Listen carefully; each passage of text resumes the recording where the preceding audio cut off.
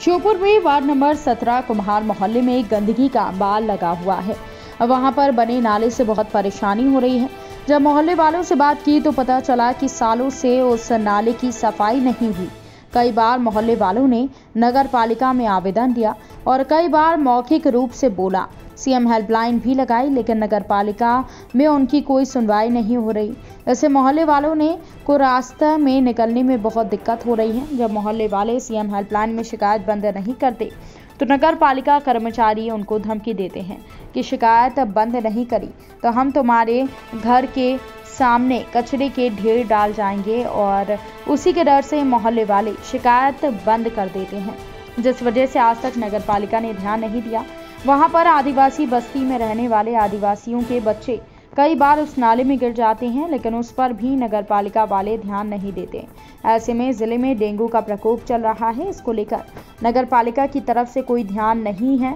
जबकि कलेक्टर महोदय नगर पालिका को कई बार निर्देश दे चुके हैं कि शहर की सफ़ाई पर ध्यान दिया जाए, लेकिन नगर पालिका के कर्मचारी कलेक्टर की बातों का नगर पालिका के कर्मचारियों पर प्रभाव नहीं पड़ रहा और जब मोहल्ले वाले बोलते हैं तो उनकी भी नहीं सुनते।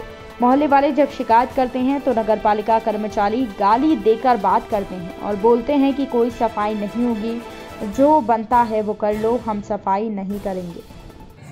तुम्हारी क्या क्या शिकायत है नाले को लेकर सफ़ाई अभी तक नहीं हो रही? क्या है मतलब सफ़ाई करने वाले नहीं आते क्या है? सफ़ाई करने वाले साहब सफ़ाई करने वाला भी नहीं आवा। है अरे नाला को भी इतना दिन हो गया निकलवा में जगह नहीं रहे और ना ही तो नगर पालिका वाला सुना है ना ही कोई सुना। है कितनी भी शिकायत कर दो और छाती बोर्ड चढ़े कि तुम शिकायत क्यों करे एक सौ इक्यासी पे? अच्छा। ये हालत है लोगों की।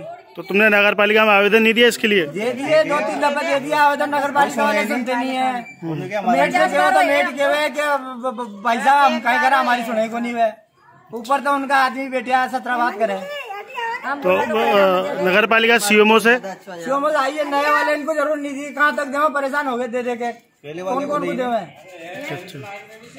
ये हेल्पलाइन पे हर आठ दिन में हेल्पलाइन पे एक सौ इक्यासी पे शिकायत करते हैं।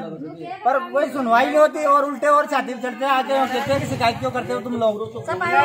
नाला को उधर से डेली उधरता है इधर शिकायत करी जाए इनके छाती पे चढ़े वो आते हैं। कुछ लोग सफ़ाई करने वाले। पूरा लड़के गया।